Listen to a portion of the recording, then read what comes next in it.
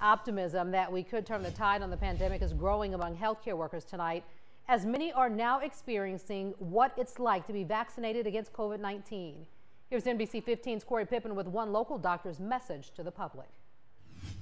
A chief medical officer at Infirmary Health views the vaccine as a light at the end of the tunnel when many healthcare workers are still fighting to save lives. So, if we can get through this holiday season get enough people vaccinated, we're really, uh, you know, on the cusp of turning the tide on the whole pandemic. This video shows Dr. Darren Scroggie, Chief Medical Informatics Officer with Infirmary Health, getting the first dose of Pfizer's COVID 19 vaccine, supply which was shipped to Thomas Hospital in Fairhope and now stored in special freezers. Compared to the flu shot, it was the same or less intense in terms of the injection itself. The longest part is waiting the 15 minutes after you have the shot done for them to observe and make sure you don't have any reaction. Dr. Scroggie says other than some soreness in his arm, the process has been painless, but the vaccine has been the center of both optimism and concern. State health officials say rumors alleging severe allergic reactions and even a death among vaccinated healthcare workers are false else. Once it's in your body, it does what it does and it's gone.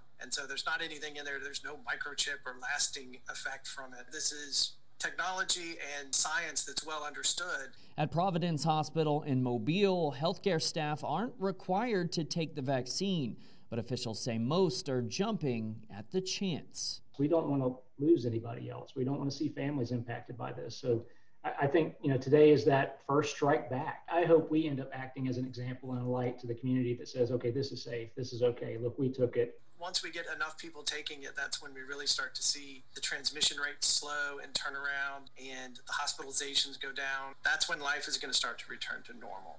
Health officials are still encouraging people to wear masks and social distance because it could be summer before the vaccine is available to everyone.